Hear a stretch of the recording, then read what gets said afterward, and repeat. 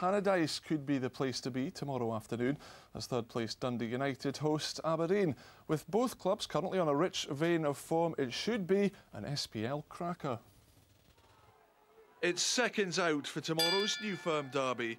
In the Tangerine corner, boasting an eight-game unbeaten record, Dundee United boss Craig Levein. In the red corner, hoping to make it four games unbeaten, Aberdeen manager Jimmy Calderwood. When the sides met at Pittodrie in September, Francisco Sandaza delivered the knockout punch in a 1-0 win for United. I mean, I'm confident we'll play well and work hard and all these sort of things, but the teams are so tight, you know, and there's, anybody can beat anybody else. I'm never, you know, I'm never uh, bold enough to say I'm 100% confident, but, you know, I'm, I'm confident we'll play well. You know, I'm confident that we'll, we'll do our best to win the match. They're always special, special occasions, you know in a little bit of better spell than what we were.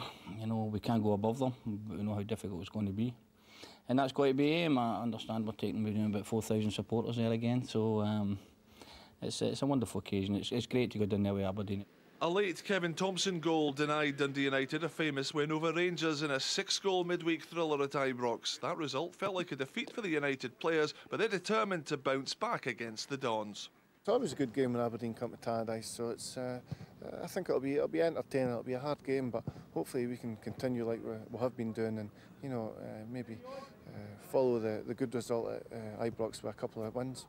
Charlie Mulgrew's enjoying life at Pittodrie after his summer move from Wolves. As a Celtic youth player, he had a hugely successful spell on loan at United two years ago, but sentiment won't get in his way tomorrow. It was great. Um, they gave him a chance when I was 19 um, and I got to run a, a few games in the, in the team, and uh, I'll always I'll always remember them for that, thank them for that, and um, definitely it's got an added edge to game the game for me, and hopefully we can go there. But the main thing is we can go there and get three points.